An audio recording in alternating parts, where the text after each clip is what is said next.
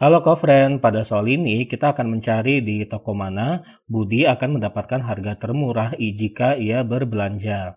Oke, di sini perhatikan bahwa di sini diketahui pada tabelnya bahwa kamera ini harganya adalah 3 juta rupiah. Kemudian jika di toko A, di toko B, di toko C, di toko D sudah disediakan diskonnya seperti ini. Kemudian untuk yang laptop ini 5 juta rupiah.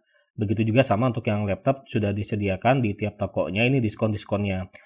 Oke, kemudian di sini kita akan mencari berapa besar potongan yang akan didapatkan di tiap tokonya. Oke, yang pertama itu adalah PA. Jadi PA di sini ini adalah besar potongan yang didapatkan oleh Budi ketika ia berbelanja di toko A.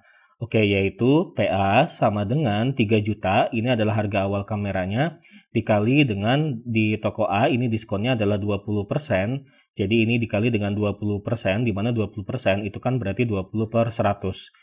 Ditambah kali ini untuk yang laptop yaitu harga awalnya di sini 5 juta dikali dengan besar diskonnya untuk yang di toko A ini 30% berarti ini dikali 30 per 100 seperti itu. Kemudian kita hitung ini 3 juta dikali 20 dibagi 100 hasilnya adalah 600 ribu. Ditambah untuk yang ini 5 juta dikali 30 dibagi 100 hasilnya adalah 1 juta 500 ribu.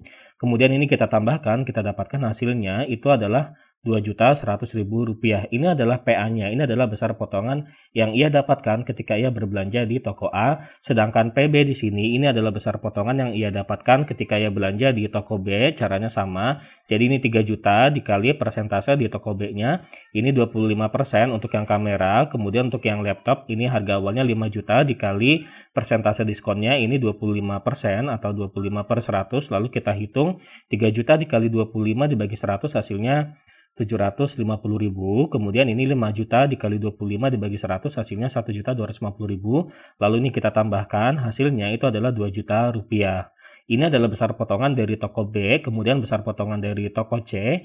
Ini kita namakan PC yaitu sama dengan harga kameranya. Tadi adalah 3 juta. Ini 3 jutanya kita tulis 3 dikali 10 pangkat 6 saja agar muat di sini di tempatnya karena 10 pangkat 6 berarti kan 10 dikali 10 dikali 10, 10-nya itu ada 6.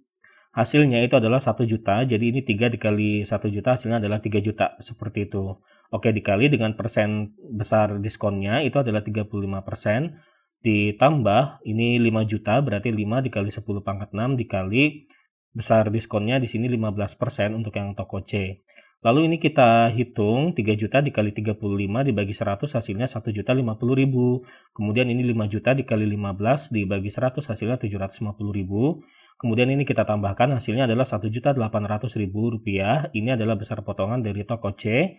Kemudian besar potongan dari toko D yaitu PD sama dengan 3 juta dikali persentase diskonnya untuk yang toko D ini 30% ditambah untuk yang laptopnya ini 5 juta dikali diskonnya ini 20%, kemudian kita hitung 3 juta dikali 30 dibagi 100, hasilnya 900 ribu, ditambah ini 5 juta dikali 20 dibagi 100, hasilnya 1 juta, lalu kita tambahkan, ini tidak muat, kita lanjut di sebelah sini saja, hasilnya itu adalah 1 juta 900 ribu rupiah, ini adalah PD, besar potongan dari toko D-nya. Nah, jika kita perhatikan, ternyata besar potongan yang didapatkan itu besar potongan yang berasal dari toko A, yaitu PA, yaitu yang sebesar Rp2.100.000 ini.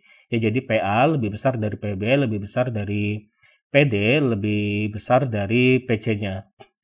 Oke, karena itu berarti di toko A besar potongannya ini paling besar, maka di sini jawabannya, maka Budi akan mendapatkan harga termurah jika ia berbelanja di toko yang menghasilkan potongan terbesar yaitu toko A. Ya, jadi toko A tadi besar potongannya paling besar yaitu Rp2.100.000.